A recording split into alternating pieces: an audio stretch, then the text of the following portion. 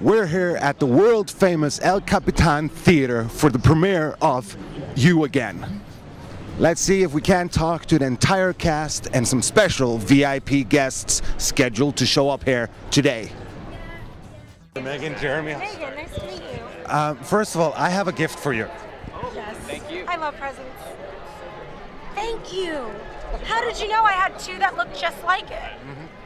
How did you know? Oh, thank you. Tell us a little bit more about Kendall. Kendall is the mean girl who you actually want to be your friend because she sticks by Odette Yustman's side like no other in the past and in the present where the movie takes place. I mean, she's a mean girl, but she's a good mean girl friend. Uh, is, is she a friend of Kristen Bell's character or the other one? She is the absolute enemy of Kristen Bell's character, close, close friend to Odette Yustman's character. So, uh, can we uh, expect any cat fights uh, between all of you?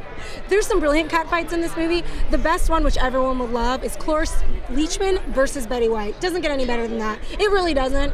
Really doesn't. Ours pale in comparison to those legends going at it. Uh, what what else is up uh, up uh, with you these days? I'm going to be on Make It or Break It, which is a show on ABC Family. I come in as a new character who is close friends with Lauren Tanner, who's played by Cassie Scerbo.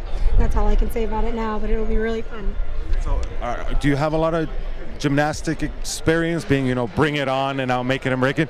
Yes, actually, I grew up dancing and doing gymnastics and kicking and jumping and screaming and probably driving my parents nuts.